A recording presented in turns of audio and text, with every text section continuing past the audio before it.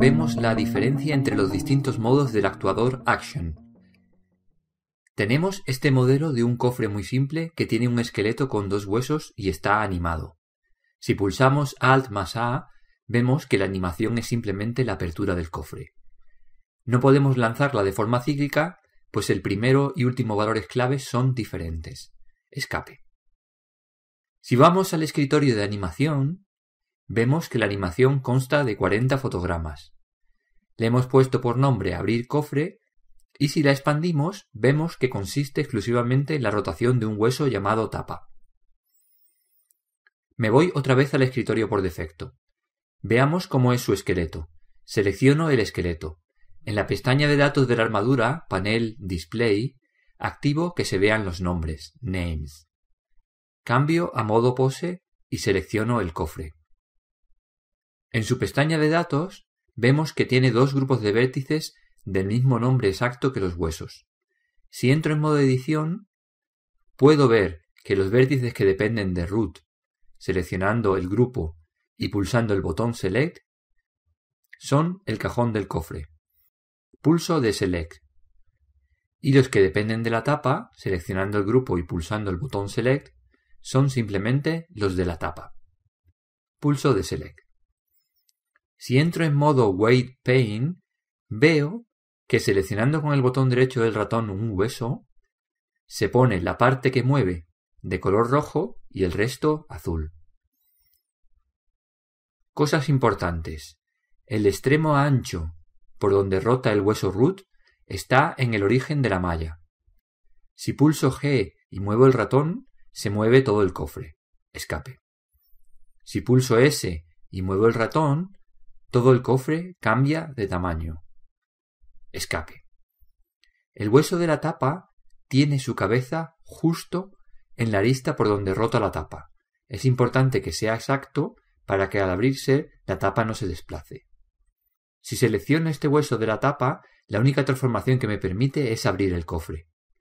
Ahora vemos cómo se consigue esto. Salgo a modo objeto. La malla del cofre queda en modo objeto pero el esqueleto sigue en modo pose. Si vamos a la pestaña de datos de los huesos, con el hueso tapa seleccionado, vemos en su panel Transform Locks que he bloqueado todos los escalados. Y las rotaciones salvo por el eje X. La posición no es necesario bloquearla porque el hueso está conectado a su padre. Podría desconectarlo de su padre en modo edición pulsando en Connected para desactivarlo. Para saber los ejes de los huesos, voy a los datos de armadura y en el panel Display activo Access. O bien selecciono el hueso que sea y en la ventana 3D View pongo ejes locales. Dejo la animación en el fotograma 1 y me voy al escritorio Game Logic. Pongo la ventana 3D en la vista de cámara, cero del teclado numérico, y activo representación con texturas, Al más Z. Voy a eliminar esta ventana de propiedades para dejar más sitio en el editor lógico. Botón derecho sobre la unión, elijo Join Areas y desplazo el ratón hacia la derecha. La ventana de texto de arriba la voy a convertir en una de propiedades. Pulso el ratón sobre el icono y elijo Properties. Si intento lanzar el Game Engine P en la ventana 3D, no pasa nada, no se lanza el motor. Tengo que salir a modo objeto en el esqueleto que está en modo pose. Pongo modo objeto y pulso P. Ya funciona. Escape. Colapso el panel de propiedades del editor lógico, tecla N. Voy a lanzar la animación de una tecla. Tengo que tener seleccionado el esqueleto, que es el que tiene la animación abrir cofre.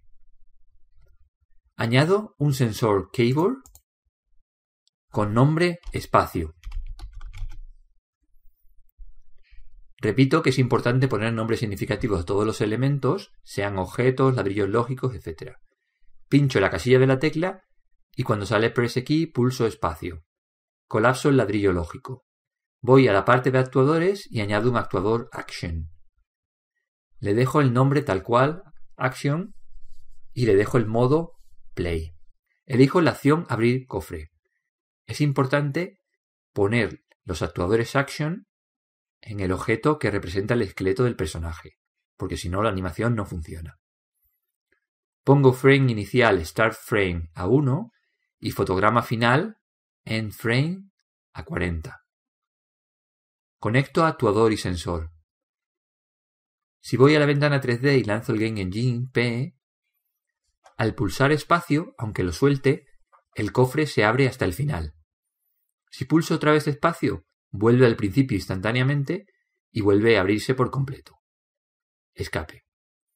Si cambiamos el frame inicial por 40 y el final por 1, al lanzar el Game Engine P y pulsar la tecla espacio, la animación va en sentido contrario, que no tiene lógica por estar el cofre abierto inicialmente. Escape. Lo dejo como estaba. Frame inicial 1, frame final 40. También podría elegir un rango de fotogramas distinto del total. Continuamos en la siguiente parte.